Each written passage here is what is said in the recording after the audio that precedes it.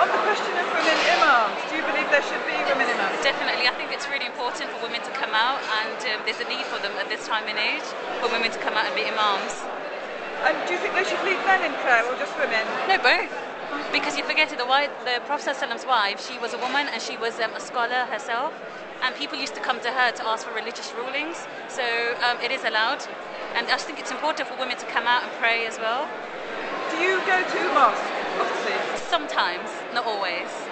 Would you go more if there were, uh, was a woman prayer leader? Definitely.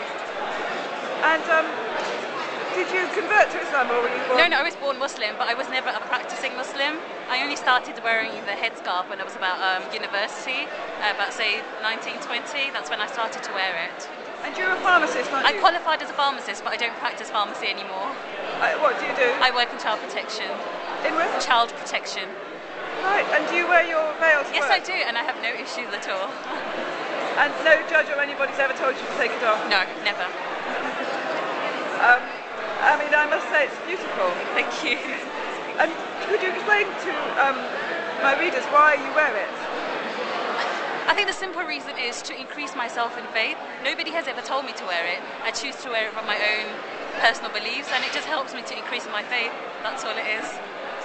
And how does it help you to increase your faith, would you say?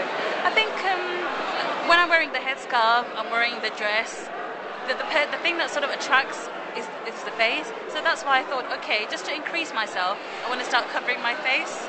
And that was the only reason. Could you just tell me your name and where you're from? My name's Zahra, and I'm from Birmingham. Thank you, Zahra.